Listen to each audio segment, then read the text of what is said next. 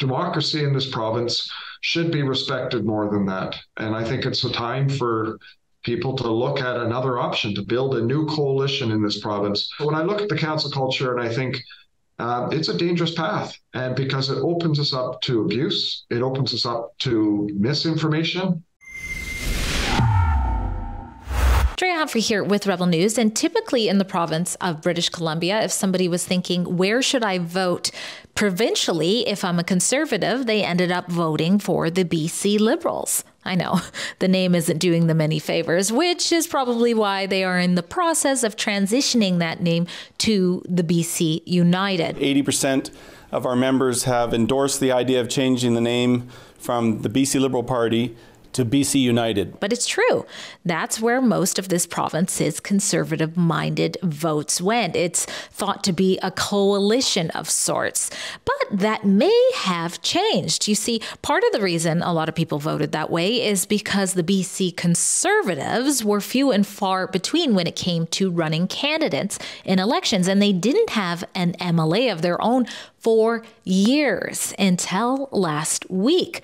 That's right, the newly rebranded, now Conservative Party of BC just gained Nechako Lakes MLA John Rustad, who had been serving as an independent after being ousted from the so called conservative BC Liberals after the thought crime, or maybe I'll call it a thumb crime, of retweeting co founder of Greenpeace and guru when it comes to sustainable energies tweet of Patrick Moore. Why? Because part of it said that the case for CO2 being the control knob of global temperature gets weaker every day. Ouch.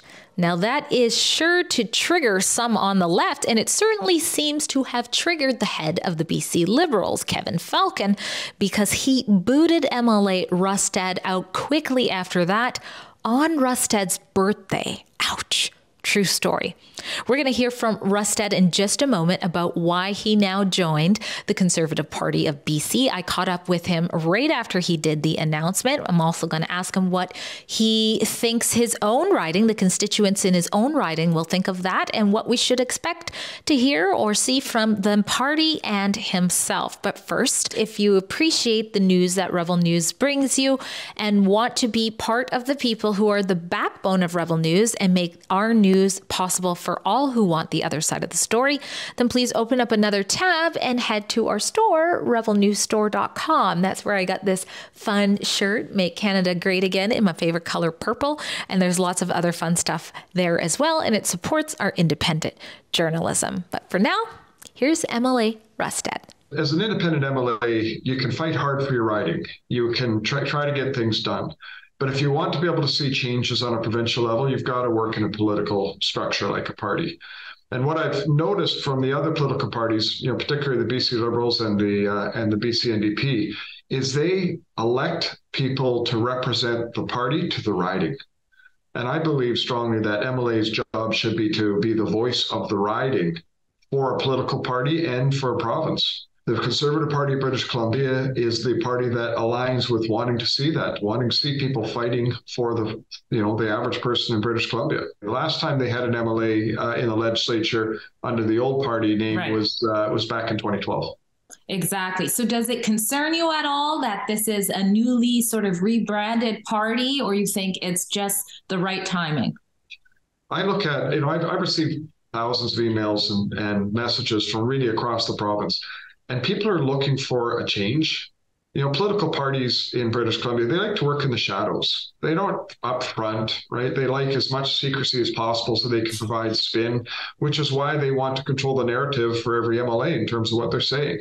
And I just think that's just wrong.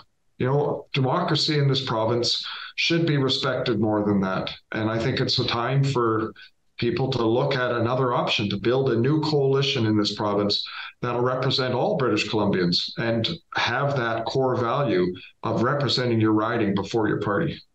Well, you've been serving British Columbians for a long time, and you were with the BC Liberals, I guess soon to be called the BC United. And typically, when people were thinking conservatives, at least in the recent years, they were sort of leaning towards that party, which is more of a coalition. Uh, do you think that party still has a place for conservative British Columbians? No, I do not. Uh, it's pretty clear that that party has moved moved towards uh, trying to be woke, uh, for whatever that can mean. Obviously, people have different definitions of that, um, but it, they just seem to want to try to pretend to be something mm-hmm. instead of standing on values. And I think, you know, a political party, particularly a party that can be a true coalition, has to be a big tent. You have to be able to bring people in from right across the political spectrum with a wide, variety of issues, but standing on principles, not trying to run around and get out in front of something because you think that's where people need to be to vote. And I think, quite frankly, we need more principle uh, in our politics in, in British Columbia and, quite frankly, right across this country. Well, you were in that caucus and then removed after retweeting. I've always find this so crazy when people are getting canceled, for lack of better words, for a retweet, not even a statement. And that tweet uh, was from Patrick Moore, and it didn't perfectly align with the climate alarmist agenda. I did reach out to the Conservative Party of British Columbia to ask if they were at all concerned that you may uh, do a tweet or retweet, and they said no know that uh, they are certainly not concerned with monitoring or or having uh, you know sort of power over what you do on Twitter or any of their other uh, politicians. How does that make you feel, and what do you make of sort of this cancel culture we're seeing, even as high as with our elected officials? I think it is extremely um, dangerous to think that this cancel culture has gone particularly through our education system, mm-hmm. our advanced education system, our researchers, our scientists, and you know at a political level as well. There are so many people that have been prevented from being able to speak out. Even people like Jordan Peterson, right, who's yeah. obviously you know become uh, you know quite a national and international uh, star in, in, terms of him being outspoken. Mm-hmm. There are groups that are trying to cancel him. And I mm-hmm. just, you know, where are we going with politics? Where are we going as a society? We should be celebrating differences because that's who we are. We are a melding pot of people from all around this world with all kinds of different ideas, uh, all kinds of different, you know, interests. And we should be celebrating all those differences. That's what makes Canada the solution. Mm-hmm. And, you know, so when I look at the cancel culture and I think, uh, it's a dangerous path and because it opens us up to abuse it opens us up to misinformation. Uh, and i just think it's you know it's a shame. But that's like i say why i'm doing what i'm doing because i think people need a choice. They need to be able to see principled politicians being able to stand up for values and ask people for support and earning people's support so now that you have uh, the chains off of you, sort of as an independent, and in this party that at the moment is saying, you know, they're not going to be muzzling you, what is something you think that you're free to fight for British Columbians on their behalf that perhaps you would have had difficulty fighting for them in the BC Liberals Party?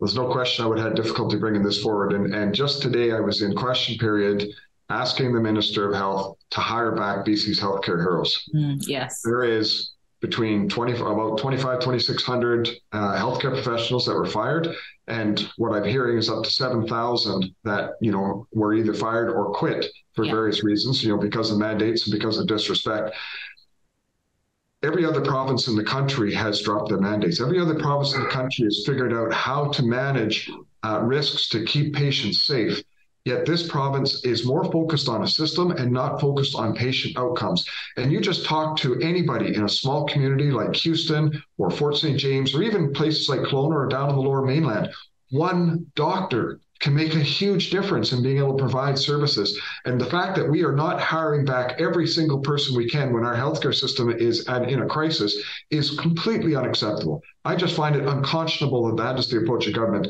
So this is an issue that you know I can now stand up and fight for that I would not have been able to do as a BC Liberal. Now, we're doing this interview immediately after you've announced pretty much. Uh, so perhaps you can't fully answer this question, but what do you think your community in Nechako Lakes, how are they going to perceive this change going from independent to this party now? Um, you know, I always promised, um, and, you know, there's people in my riding that were concerned because my writing actually has a history of people kind of walking across the floor or becoming independent. Mm. Uh, and that's, you know, that's troubling to me. I wanted to be able to provide stability for my uh, the people in my writing. Right. But at the end of the day, you know, when I when I talk to the people in my writing and I tell them about, you know, how parties work, you know, in the shadows and how they're all about spin and how they want to control the messaging, mm-hmm. it's not what they asked for. And you know, I've always had a history in my riding of being outspoken. Uh, I have never, you know, shied away from that. I've stood for various, you know, principles and values, particularly things like economic development and opportunity, but of course, couched in, uh, you know, the need for balance. Um, you know, as a minister for Aboriginal Relations and Reconciliation, I signed 435 agreements with First Nations across the province, mm-hmm. fighting for economic reconciliation that works hand in hand with communities across the province. And so, you know, when I tell people I'm thinking about doing this, and of course, you know, now that I've done it, I'm going to be talking about how I have done it as opposed to thinking about doing it. Um, you know, people say, you know, you need to stand up for those values and that's what I'm going to do. And I, it's what I've done all my life. It's the way I've approached politics, and it was the way the BC Liberals used to be, and they've changed. They don't accept things like free votes in the legislature anymore. They have censored other MLAs, you know, just recently. You know, people like Renee Merrifield, or mm-hmm. and there's a you know two or three others that they have censored. And I just look at it, I think that's wrong because as an MLA, you ask for people's trust to be their representative and their voice. You present yourself as to who you are, not some, you know, made up thing that a party has. Mm-hmm. And so, you know, I, I know there will be some people in my riding that'll be disappointed, but on the on the flip side, I've got to be able to stand up and fight for my values. And I think that is the most important thing a politician can do. Well, and you still got a few years probably to uh, prove it to them. So thanks again for being on Rebel News. And if people want to find out more, they can check you out on Twitter or on the Conservative Party of British Columbia's website. Take care. Thank you so much. I look forward to talking again. Let me know what you think in the comments. Is this a game changer for conservative British Columbians? And if you would like to support our independent journalism, please head to rebelnewsstore.com.